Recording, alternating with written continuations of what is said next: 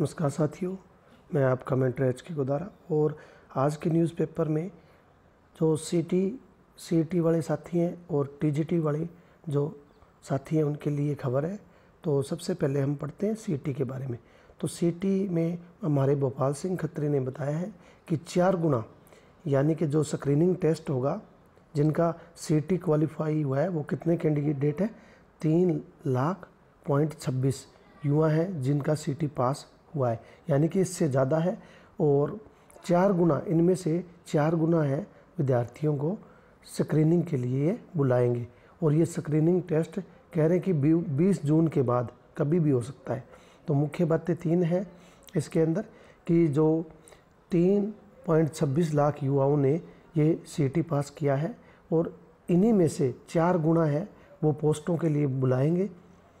और जो screening test है, वो जून के बाद कभी भी लिया जा सकता है। तो साथियों, जो भी सी की तैयारी कर रहे हैं, वो कमर कस लो और अच्छे से अपनी तैयारी जारी रखो, क्योंकि जल्द ही आपको सीटी का स्क्रीनिंग का टेस्ट देखने को मिलने वाला है।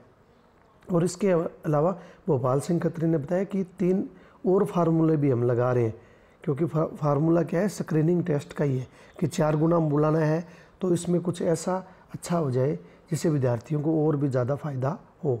और इसके अलावा एक छोटी सी खबर हमारे टीजीटी साथियों के लिए, यहाँ लिखा है कि तैंतीस हज़ार युवाओं ने इसमें परीक्षा दी थी।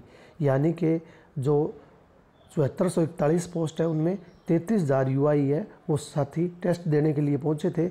इनमें से छब्बीस सौ पचास युवा हैं, जिन्होंने क्या किया है? ऑब्जेक्शन किया है, यानी कि चैलेंज किया है। छब्बीस सौ पचास साथी हैं उन्होंने जो आंसर की थी, उसके अंदर चैलेंज किया है क्वेश्चनों को उन्होंने गलत माना है।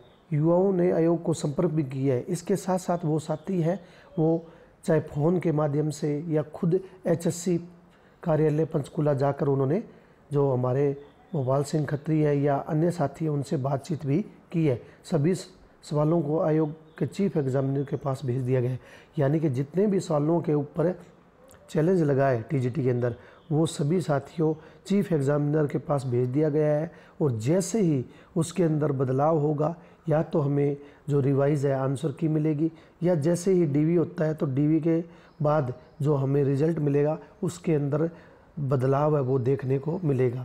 वो एक दो नंबर का भी हो सकता है और तीन नंबर का भी हो सकता है। वो सब हमारे चीफ एग्ज़ामिनर पे डिपेंड करता है। तो साथियों, जैसा कि मैंने आपको बताया था कि प्रोसेस चल रहा है एच में। सबसे पहले तो क्लेम वाला होगा। क्लेम के बाद उनकी लिस्ट आएगी जो फाइव मार्क्स क्लेम कर रहे हैं। उसके बाद डीवी की लिस्ट आएगी। और डीवी से पहले हो सकता है कि हमारी रिवाइज आंसर की भी आपको देखने को मिले। इतने तक जो चीफ एग्ज़ामिनर है, वो अपना रिप्लाई जो हमारा कार्यालय एचएससी का, उसको भेज देगा।